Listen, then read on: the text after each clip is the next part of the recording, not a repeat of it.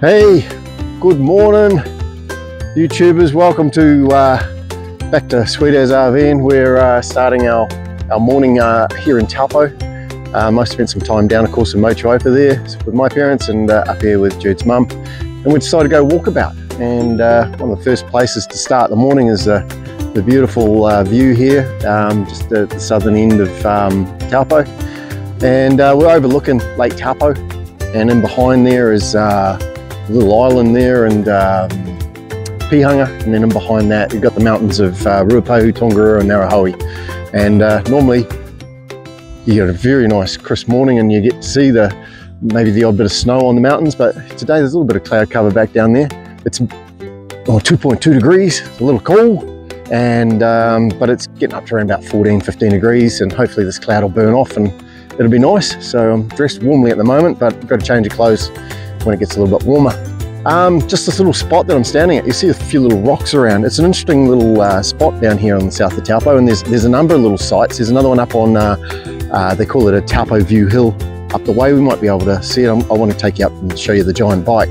But um, yeah, these rocks are sort of um, what they were called back in the early days there, an open air university. And uh, it's believed to be uh, the teaching uh, of the cyclic astronomy some people call them like um, standing stones and they give you things like um, your true norths and your solstice and yeah. I don't know too much about the history of it, but uh, it's just interesting. Some people have done some research and found that they, uh, they all line up to particular um, astronomical type um, events. Do I call it astronomical? It's in the astronomy side of things. Anyway, behind me there too, I think you'll see um, Mount Tauhara and uh, that is also a, a lineup spot for um, these rocks. And I think that one back there too the, the, I think they call it like the shark fin or something like that. But anyway there's a little bit about it in um, Google if you want to look it all up there. So uh, yeah better get on down the hill and catch up with Jude and we'll go and have a look at our next spot eh? All right our next port of call is down the town centre area of uh, Taupo. And we of course uh, one of the most uh, photographic spots of Lake Taupo is here at the I Love Taupo sign. And of course that gets to see a, uh, a beautiful view down the lake, of course to the, uh, the mountains. Uh, just pulling in over behind me here is uh, the, uh, the float plane. And people go out for scenic flights and things. Um, there's a, um, I'll see if we can find it down the marina. There's an old boat, sailboat and a little steamer and they go out. Um, there's also a big uh, cat as well. Takes you out and shows you some of the, the beautiful bays of uh, Lake Taupo. And uh, there's an Ironman held here and swim challenges and things like that held here. Great fishing. Um, you get some rainbow trout and uh, we do have brown trout as well, but predominantly rainbow trout out of the lake. Um, been here pretty much as long as I have. This little floating platform out there used as a, a one-hole golf challenge. So uh, you stand on the shore here and uh, get yourself a golf ball and golf club and try and uh, score some prizes. Um, and you can see there too some kayakers out on the water. So yeah, lovely end. This is the uh, kind of like the northern end of the lake. And uh, of course Turangi, Motuoapa, where I was down there earlier, that's down the southern end. And uh, some nice little bays around and homes nestled in those bays.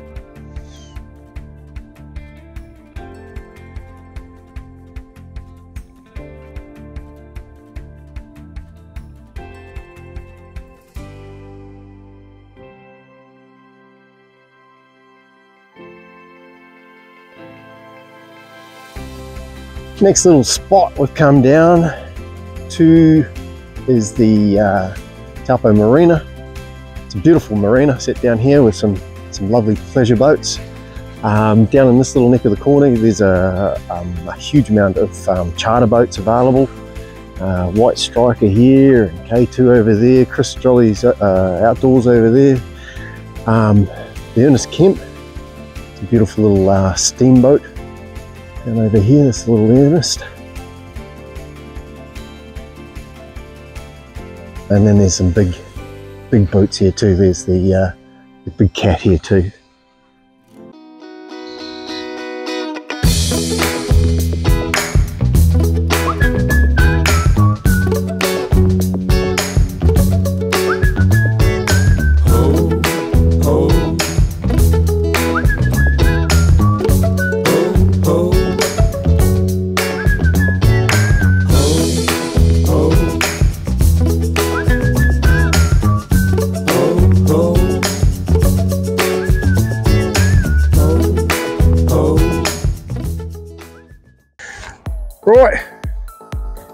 The next little interesting fact on Taupo would be it hosts a number of events. As I said, a uh, an Ironman and swims and runs and bits and pieces. But one other um, real important thing here in Taupo, and I've taken part on two occasions, the Giant Bike. It's uh, home of the Taupo Cycle Challenge. Excuse the noise on the road here. Um, it's been going for 45 years, so a long time. Started back in 1977 and had um, 26 riders that thought for fun, we'll cycle around the lake. So the lake, you can see in the distance here where Jude is, um, it's about 160 kilometers around the lake. Um, let me see, now has nearly 7,000 riders. So humble beginnings in 1977 of 26 riders, now 7,000. Even during uh, the COVID period, I think when it, it lost a bit of um, popularity, it was about 5,000, but uh, pretty popular. They do a number of events. They do the 160k uh, cycle, but then some guys uh, have got the opportunity to ride it twice, so 320Ks around, so uh, pretty good. And they also um, bring it in with other cycle events for mountain biking challenges and things like that too. So huge amount of tracks around here in Taupo to go and enjoy. So uh, yeah, look it up one day if you're really keen to do a cycle challenge around Lake Taupo. It, uh, it can bring a tear to the eye when you've uh, gone all the way around and uh, it's a good achievement.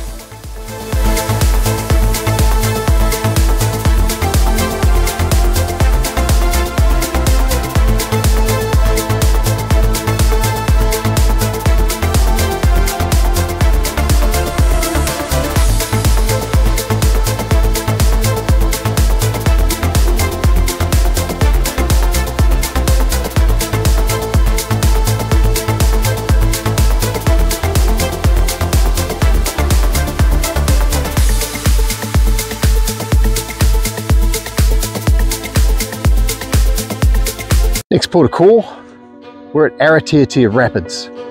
So the car's just parked up here. Judy's going to take a uh, vantage point from the top of the rapids and I'm going to go for a little walk down this track and uh, set myself up down the bottom of the rapids and we'll see if we can get a good combination of the release of water from the, uh, the top.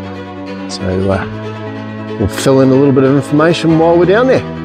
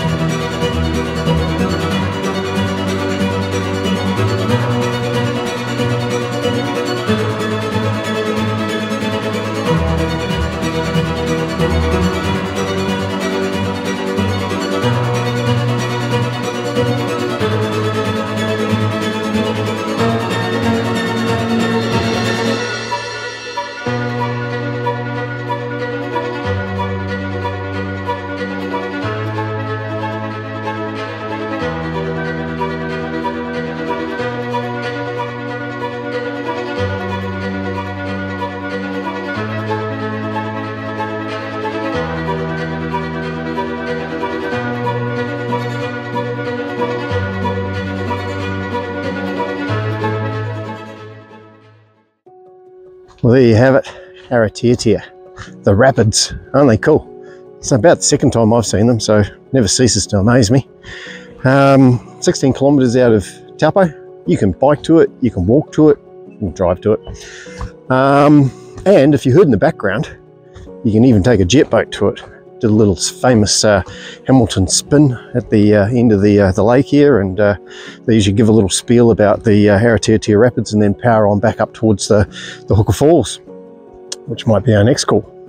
Um, so it, it was um, the first hydro apparently built on New Zealand's longest river here in uh, the North Island. Um, and what we saw there was at least uh, 65,000 litres per second coming over the spillway. So pretty cool. An interesting little fact about the Aratiatia Rapids. For you Hobbit fans, Lord of the Rings, it was the Hobbit scene where Bilbo Baggins was rescuing the dwarfs that escaped in a barrel and they were floating down that section of the rapids. I think because of safety standards, they didn't throw dwarfs off there in barrels. Um, it was all digitally done later on, but they floated the barrels down and uh, down there and they filmed it. So uh, there you go, a little bit of Hobbit um, trivia.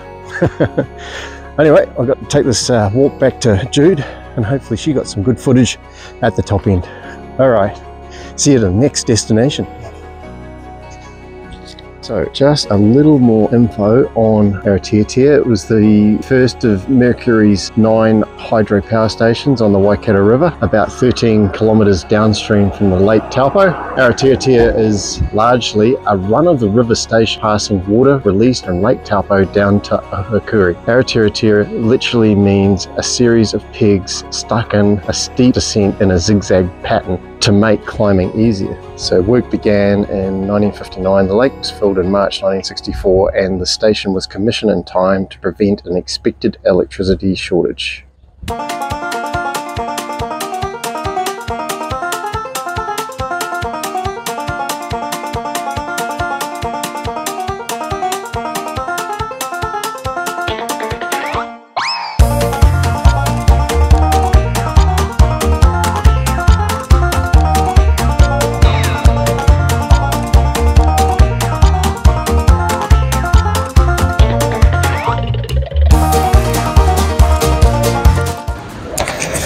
It's going to be quite noisy through here, so I'll try and uh, get my camera as close as I can, but there we have it. From there, coming from there. We're looking at uh, some 220 litres per second running through this little gap. It's the Huka Falls a little bit more than down at Aratiatia and noisy and wild. Believe it or not, some people shoot these falls in a kayak. So uh, if this part don't get you, the the, uh, the waterfall at the far end, well, got myself a bit of an advantage point here. It's quite busy here today. Lots of people around. So that's the top end coming from Lake Taupo. And there's a beautiful little lodge up there called Huka Lodge, very uh, prestigious. So uh, we're going to have a look at the bottom end of uh, Huka Falls. I hope you managed to hear me through all that rush of water. All right. Here we go. We're at the bottom of the falls. Um, I think it's a fall of around about 10, 15 meters. I think the whole thing's about 100 meters or 150 odd meters long. And yeah, that's the flow coming out of Lake Taupo on the uh, through down the Waikato River and down to the uh, the, the Aratiatia Rapids. Thunderous amount of power. And as I say, I've heard of a couple of fire could shoot it. oh, wicked. And a lot of people come and visit this place, up to you know over 100,000 people a year. So it's a popular spot, eh, Anna? What do you reckon? Definitely a popular spot. Yeah, must put on your list of places to visit in uh, Cabo. Yeah, Right. yeah. tick list.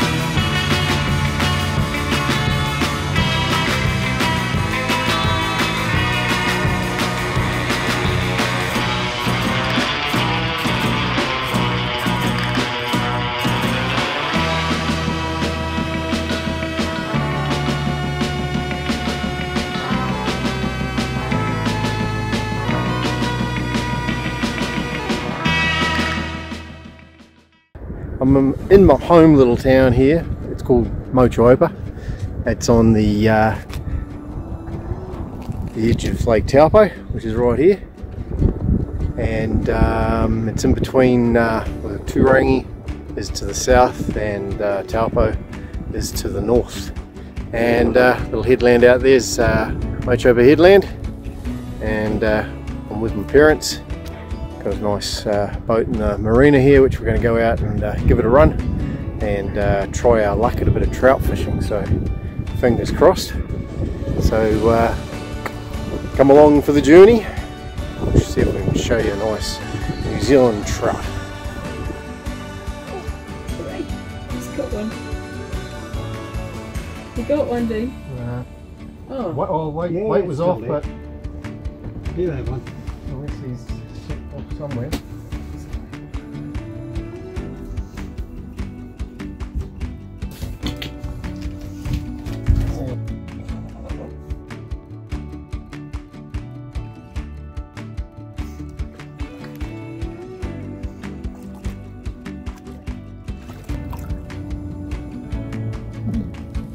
He's following the bloody around. Oh, there he goes. Mm-hmm. He's away.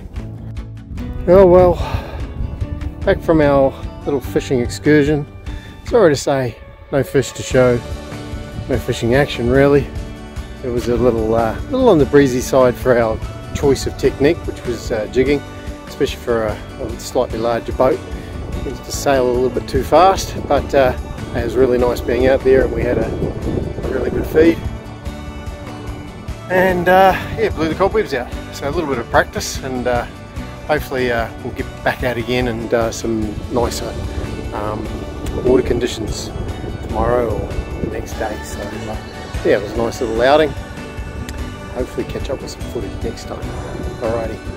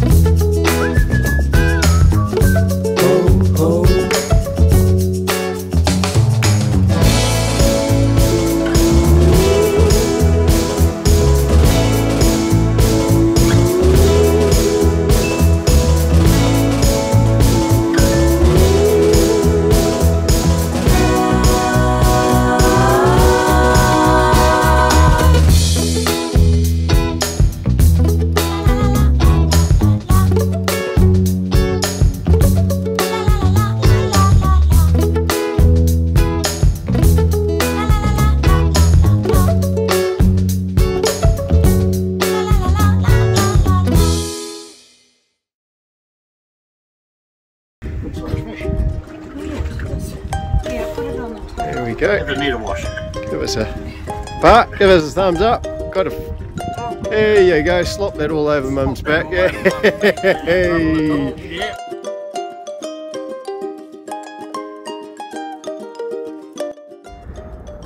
Well, believe it or not, this is uh, day two.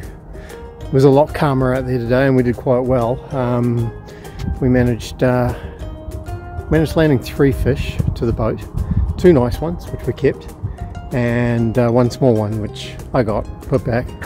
And damn it, I missed a few others. Um, I had uh, one take the hook, and I had another two hits that never stuck. So uh, yeah, if you take that into uh, account, a pretty damn good successful day. So trout for tea.